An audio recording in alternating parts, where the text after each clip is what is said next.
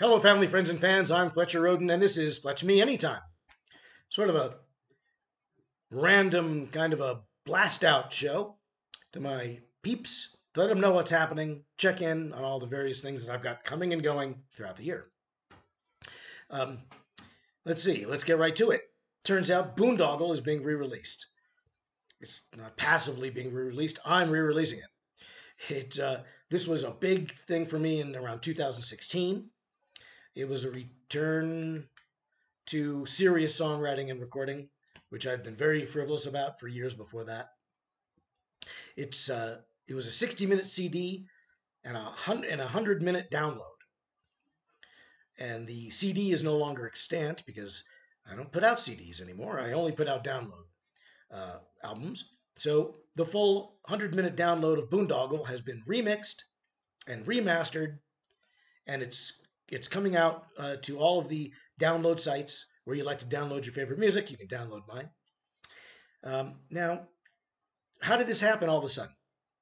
Well, I wasn't really planning on releasing anything or re-releasing anything. I just I, I started the year with Quadrilogy, a four record set, which I'd recorded the month before in December of the year before, last year, and uh, I mean, it was four records worth of original material where I played all the parts and did everything.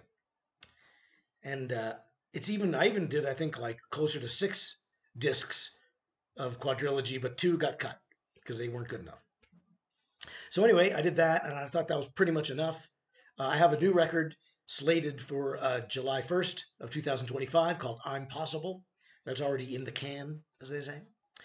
So um, I figured that was going to do it.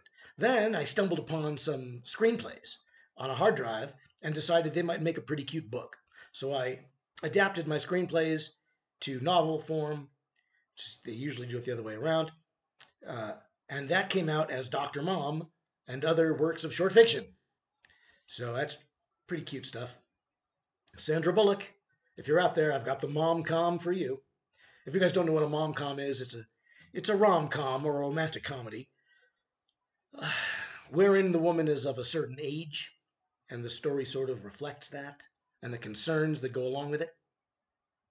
Okay, how Sandra Bullock got her groove back in Salinas.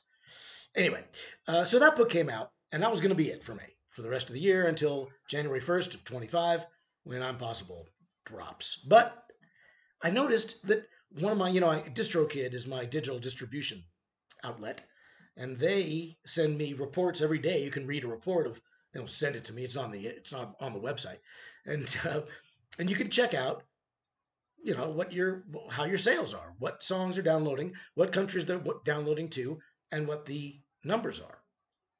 And from out of nowhere, this this B side from Boondoggle, um, called I think they call it Love, it got tons of hits in a month. I don't know how. Some one person must have stumbled onto it because I mean there'd be like 125 hits one day, like 86 hits the next day, and and they'd be from all over the world: Japan, Germany, uh, uh, you know, just all over the place. America, Canada.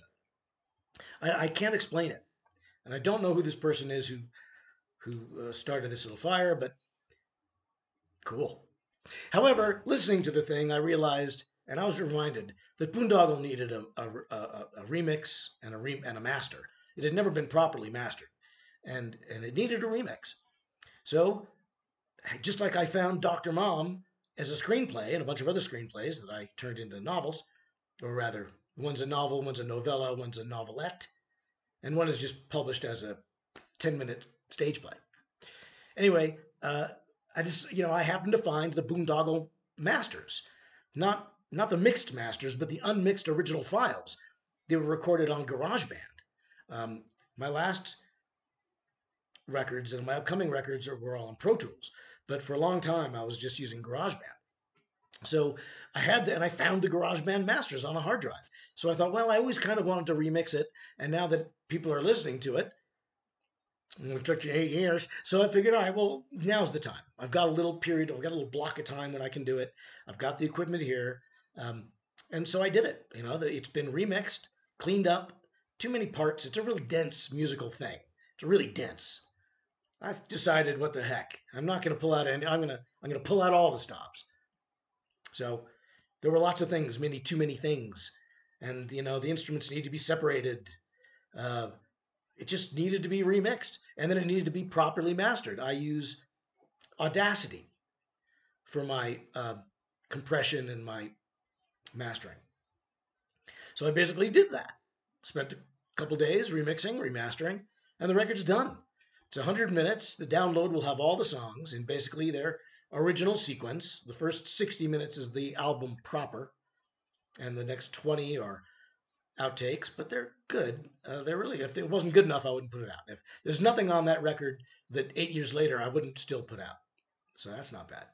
Now, one little thing is that I am kind of cheating.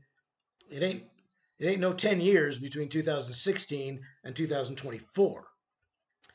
Um, I think you all beat me to the punch on that, uh, unless I didn't announce that it was a 10 year anniversary release, which is what it is. But I'm just cheating on that. What difference does it make? It's close to 10 years, and now is when they're listening. So now is when I want them to hear it. And now is when I have the tracks, and now is when I have the time. And honestly, who knows what's going to be happening in two years? Um, these computers may all be destroyed, and I may have lost the tracks by then. You don't know. Neither do I. So I did it anyway. It's the uh, Boondoggle 10th anniversary edition. It comes out on September 1st. It'll be uh, it'll first be on YouTube, I believe. Then it'll be Amazon Prime, and in no particular order, the big ones: Spotify, um, uh, iTunes, you know, wherever you like to download your favorite music, you can download mine, and you'll be able to download this one. It'll slowly start to stretch across the uh, download platforms. Then I'm going to cut the original Boondoggle. So you'll have a little window to sort of compare the two uh, before I yank the old one. And uh, that's pretty much it. You can listen to it for free on YouTube uh, in its sequence or poke around. You can listen to this song. I think they call it Love.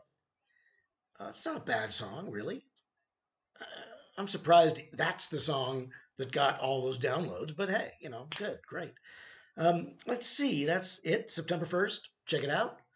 Uh, uh, you can buy it as a download. It's going to be cheap, you know, whatever, nine ninety nine or something for 100 minutes worth of music. And if you like if you like me and my music, you might know this record and you might think, "Oh, that's something I want to hear remixed." Because a lot of people did say very, very flattering things about it. I was pretty pretty pleased.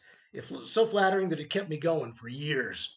You know, Houndstooth came after that, and then Night Season, which included material leading up to Boondoggle, and then just I just kept going and going with the material that is now available as trilogy.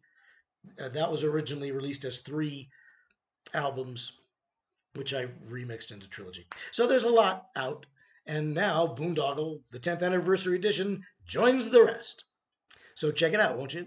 Also, I want to remind you that I've got a show runs every week uh, on this very YouTube channel, but a different playlist. It's called Quotes and Quips, where I I, I uh, examine a famous quote from virtually any time in history, and I discuss its you know meaning and ramifications for the modern era.